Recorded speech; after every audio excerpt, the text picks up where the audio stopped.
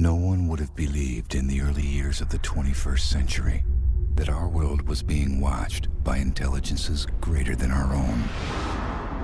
That as men busied themselves about their various concerns, they observed and studied. With infinite complacency, men went to and fro about the globe, confident of their empire over this world. Yet, across the gulf of space, intellects vast and cool and unsympathetic regarded our planet with envious eyes.